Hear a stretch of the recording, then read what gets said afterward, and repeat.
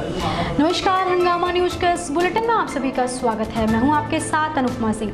15 जुलाई तक काशी को पॉलिथीन मुक्त कराने के लिए छोटे और बड़े दुकानदारों को पॉलिथीन का बहिष्कार करने के प्रति जागरूक करने के उद्देश्य से सामाजिक संस्था सुबह बनारस क्लब के अध्यक्ष मुकेश जायसवाल एवं मुख्य अतिथि डॉक्टर अशोक कुमार, राय के नेतृत्व में मलदैया स्थित फूल मंडी के दुकानदारों एवं ग्राहकों को जूट का बना झोला देकर पॉलिथीन का बहिष्कार करने को कहा गया।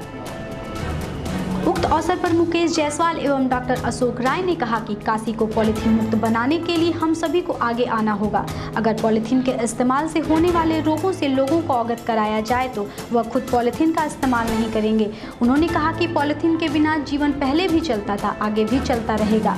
आप जब भी घर से कोई सामान लेने के लिए निकलें तो साथ में झोला लेकर निकले। सवाल जी और पूरे सदस्यों और मुख्य पदाधिकारी लोग तो यहाँ पे पॉलिथीन भगाओ और पर्यावरण बचाओ के तहत जो है, यहाँ पे हम लोग जो है प्लास्टिक के बैग वाराणसी के मड़ुआडी थाना क्षेत्र के ककड़मत्ता आरोपी से रविवार की दोपहर एक युवती ने लगाई छलांग। उधर से गुजर रहे एक मीडिया कर्मी और राहगीरों ने युवती को नज़दीक के ही निजी अस्पताल में कराया भर्ती, जहाँ देर रात इलाज के दौरान युवती की मौत हो गई।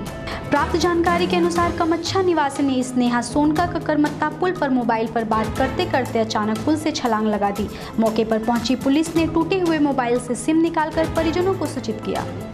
आज के लिए बस इतना ही। बाकी तमाम खबरों को जानने के लिए देखते रहिए हंगामा न्यूज़। धन्यवाद।